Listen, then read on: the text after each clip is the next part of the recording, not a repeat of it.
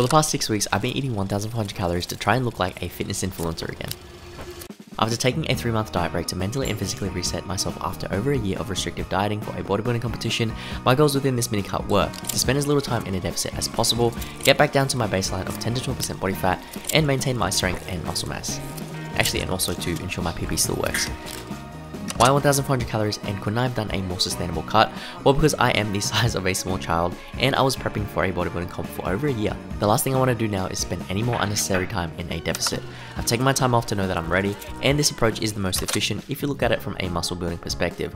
But it is beyond aggressive and as a disclaimer, I definitely wouldn't recommend anyone go below a 1000 calorie deficit. These calories are relative to me. I have over a decade's worth of experience and data and we have found that 1400 calories is that sweet spot where I'm able to lose as much weight as possible within 6 weeks weeks without suffering from any negative side effects. And so this is what it's like living on 1400 calories and eating as much as a 4 to 8 year old apparently.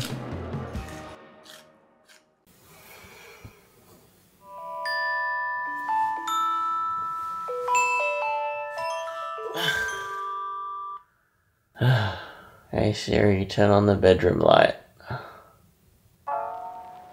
Uh, get Get up, baby. You want to be late for work. So it is currently 5.30 a.m. We're gonna get up and do some work. I am more productive in the morning. She just has work. Unlucky. Hey. What? Get the f up. Ready? I'm gonna show them your your your face in the morning. Yeah, sure. I'm gonna kill you. Yeah.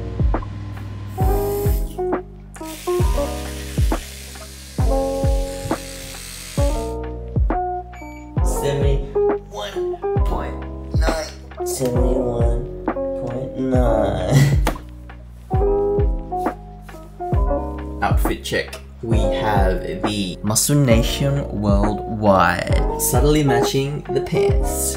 Code Lee, baby. That was really cringe. So it is currently 6.30 a.m. Here is a great tip. If you're someone who does struggle with fitting your steps in or doing something productive, I find that waking up early in the morning, front loading all the things that you don't want to do, is the best way to do it. This is great especially if you are in a calorie deficit because majority of the time people don't do anything after 9pm. Just go to sleep and then you've got more calories. I like to use this time to pretty much reply to all the comments, reply to emails, script a few videos, pretty much do things that I would say is like the boring work so that way time does go by a little bit faster. And I personally feel like I am a lot more productive in the morning. I do find that I tend to kind of taper off as it gets later during the day. Alternatively, if you can force yourself not to eat at night or snack at night, then what I used to do when I was living with my parents and pretty much doing nothing just play games or stay up as late as you can so that way when you do wake up in the morning you wake up at like noon or whatever that's just in time for the first meal you've unintentionally fasted so you've saved a lot of your calories but for me at the moment since I am at a normal body fat percentage and I haven't really been kind of that long hunger and cravings isn't that bad so waking up at 5:30 a.m. and dealing with the hunger to me is totally fine and my next meal won't be until like 10 a.m. so pretty much just gonna do steps. I'm gonna continue to do a little bit of work, maybe grab some coffee, and then I will have my first meal. Ah. All right, so 10,000 steps have been finished and I am hungry. so for the first meal, I get excited for this every single day and I've been having this every single day for like the past week and a half now and that is ice cream. If you don't have a Ninja Creami, then you need to get one right now. This chocolate honeycomb flavored Ninja Creami is only 228 calories, 24 carbs, 1 fat, and 32 grams of protein. To make it, start by adding 300 milliliters of skim milk to your Ninja Creami tub, 30 grams of Muscle Nation's Choc Honeycomb Whey Protein Isolate. Because this isn't their custard protein, we will need to add a pudding mix to make it thicker, so we're adding 10 grams of Cottee's pudding mix. Add a pinch of salt, 5 grams of stevia or your sweetener of choice, mix it all together with a hand mixer and then fill the rest of it with water until it hits the max fill line and then blend it once more. Put it in the freezer for a minimum of 24 hours. When you take it out of the freezer, run it under hot water for 30 seconds to 1 minute, then use the light creamy function and that's literally it. You don't need to respin this recipe because it does come out perfect every single time and then you can pretty much add whatever mixing you want if you have the calories. This is so freaking good. Oh my god. If you don't have a Ninja Creami, then you are definitely missing out. I can make pretty much any ice cream that I want.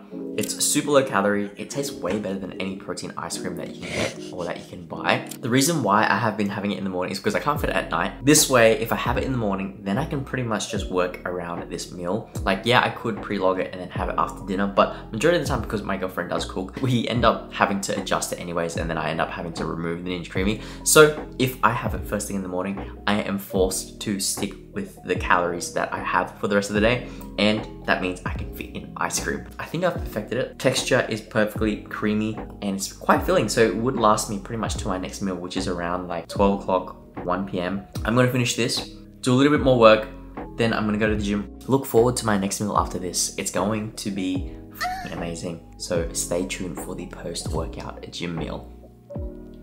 So we just got to the gym. Actually, let me show you what it's like to train at the gym that the cutest fitness influencer in the world trains at. Let's go. This is my gym. Come on. oh shit, I don't have my card.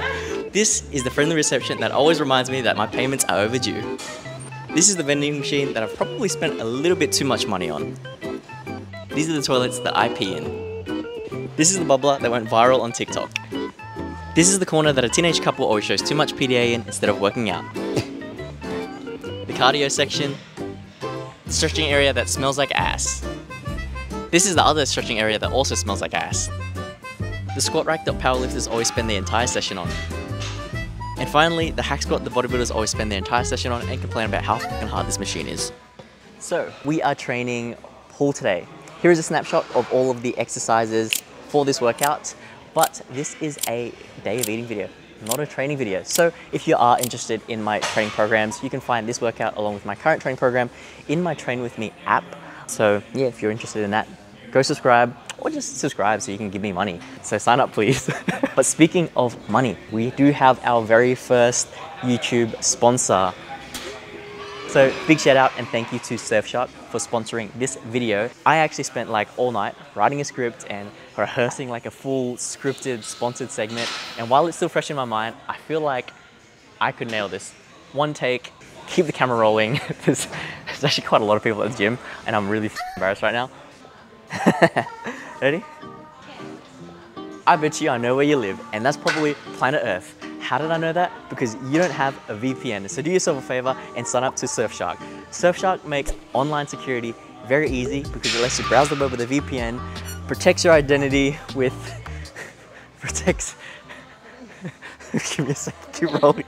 Protects your stuff with the antivirus and protects your online identity through your desktop, all in one app, or even on the browser. If you don't have a VPN yet, what the f are you doing? It's 2024. And if you've been living under a rock and you don't know what a VPN is, well, a VPN is a safe and secure connection between your device and the web, which encrypts your personal data and online activities. How else are you going to watch your favorite anime without your workplace finding out what your favorite anime is? Because incognito mode is not enough. Trust me, it's, it's not enough. But also, if you are a stingy Asian like me and you always want the cheapest prices, well, VPN man, like you can find some pretty cheap prices if you change your location. So use my code LEELEM for a free three exclusive extra months. Pretty sure that's it, so sign up today.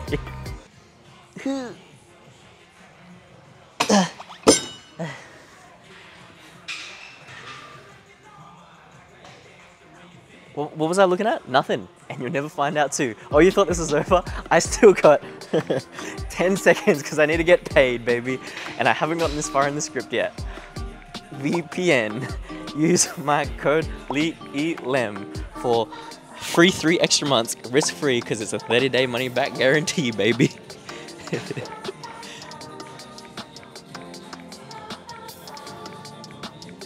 okay, let's let's go. We have just finished the gym. I am absolutely cooked, but now the meal you have all been waiting for.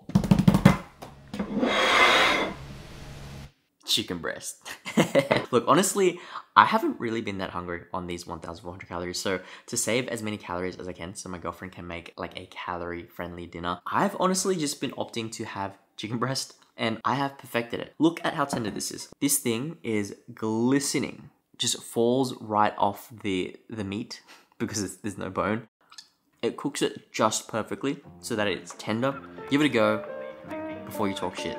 I can't wait for dinner. I would like to say I'm a chicken breast connoisseur with the amount of chicken breast I've had.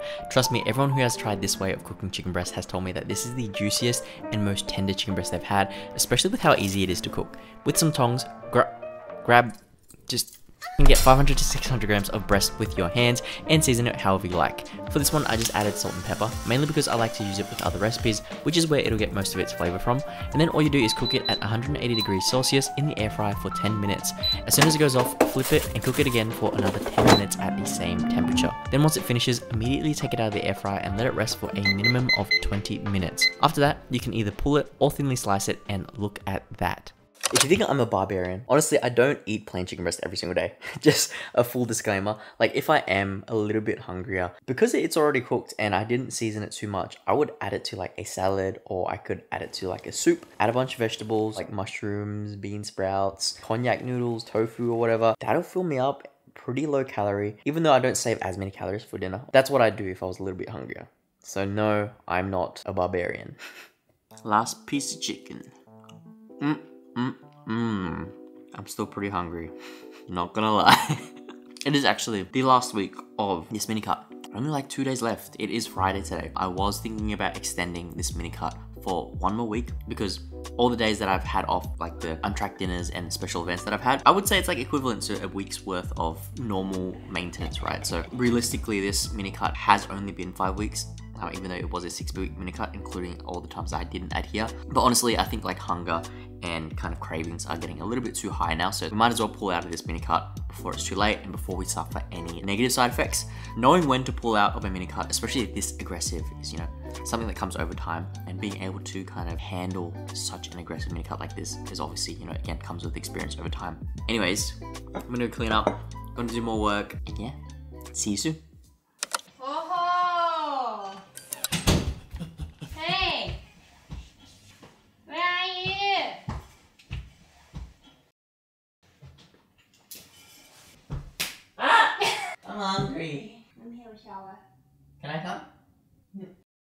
See my camera? Yes.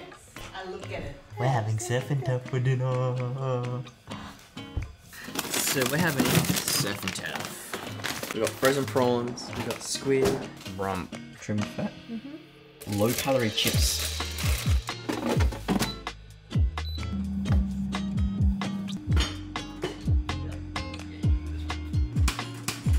I've learnt how to perfectly cook steak by cold searing. You can't f- it up. What would you say is your top calorie friendly tracking tip? always having a plan. So as a nurse, I always have to have a meal plan. Otherwise, there's a lot of chance that I'm gonna do binge eating. Yeah. Because otherwise, if you don't have a meal prepped, then very easy that you're just gonna have like a chocolate bar at a cafe or something. My calorie tracking tip for those who want to stay in a calorie deficit Yeah. or track calories long term, save as many calories as you can until the end of the day.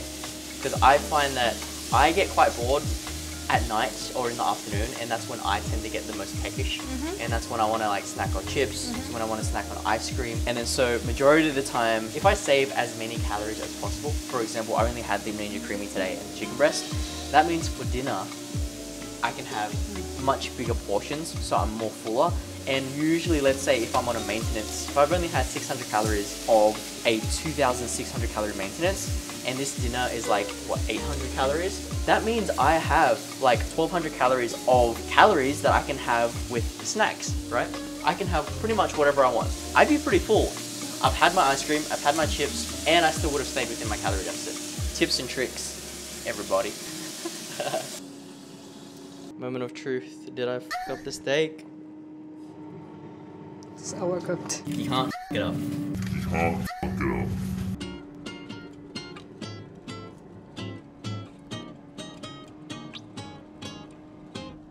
Fuck, that looks good. Check it out. Look how good this looks. Minso perfected the uh, garlic sauce. Recipe coming. Actually, it's gonna be in this video. My girlfriend and I always have this restaurant we go to for a surf and turf stay because they make the best creamy garlic sauce, and I'm pretty sure my girlfriend nailed this recipe. It's super calorie friendly and tastes f***ing amazing. The secret is this Japanese house cream stew mix. We got ours from our local Asian grocer, but I'm pretty sure you can find them online. In a small pan on low heat, add one block of the Japanese house cream stew mix, 40 grams of minced garlic, 50 grams of boiling water, pepper, and 5 grams of light butter. Stir until everything is combined, and then add 100 milliliters of skimmed milk. Continue stirring until you start seeing a little bit of steam, and finally add one slice of light square cheese, and continue mixing until that melts into the mixture as well. If it's too salty or thick, then I would add a dash of water, but the consistency should look a little something like this. This sauce can pretty much be used with anything, but obviously since this sauce was from the surf and turf, that's what I use it for, as well as having it with a side of fries. This dinner is 786 calories, 85 grams of protein, 69 carbs, and 21 grams of fat. And that's pretty much my calories 1400 calories. Like, I think for me, 1400 calories is very manageable for a short period of time like this. Mm-hmm. But yeah, during prep, like, because we did it for so long, mm-hmm. it does get really restrictive. Mm. I think like it got to the point where like we just want to go out and have you know McDonald's sometimes. Mm. For the last, I'd say it was like 15 weeks, mm-hmm. we just couldn't do anything. Minso would love to cook for me, but then as it got closer and closer to comp, food variety couldn't get too fancy. So rather than having dinners together like this, it was basically us just making separate dinners. Mm-hmm. And then it was like, got to the point where we just felt like roommates. I want to just sometimes just go out, have a date night with you, and you know, It's just the small things. like the this we can't enjoy these like small things at all. It actually got to the point where it's like you had to hide your snacks whenever you wanted to eat something. Hmm. Because every time I eat it, you just like you feel frustrated actually. Obviously, yeah, it's not all about the food though, right? But the thing is like, yeah, I tried to socialize and go to see friends, but like being around food and being around people who were like happy, I just couldn't handle it. I think like one of the last few things that we did with friends, I just went to the couch. I don't know if they saw me, but I just like started getting really teary just because I was like, yeah. You actually cry. I was like, I can't handle this. I just want to eat the food and Yeah. enjoy time with people, but I can't. Can I go home? Mm. They understand. Minso never wants me to do bodybuilding. I am anti bodybuilder. I just want to like live just a normal life with my partner, Yeah. having a just good quality of meal, just communicate, have a date night sometimes, and I really hope that you just get the you know whatever just pro card Mm-hmm. in whatever competition and just stop doing this one forever. I think that's the trap with bodybuilding. you do it once for the first time because you're like, oh, I want to do it for the experience. But then as you progress in training over the years, you start to improve more and more. And then so you're like, oh, I wonder how I'll do this time. And then the fact that you see yourself do better and better each time is what makes you want to come back. This sauce is amazing. Hmm. Love it. Clean Plate Club. Anyways, I don't know what else to talk about in this vlog. I think we were just filming uh, the day of eating 1,400 calories. By the time this comes out, I'll probably be back on maintenance. But yeah, You know, I'm still eating. yeah, you're fucking slow. Hurry up. Well, hurry up. I want my dessert. Have your dessert.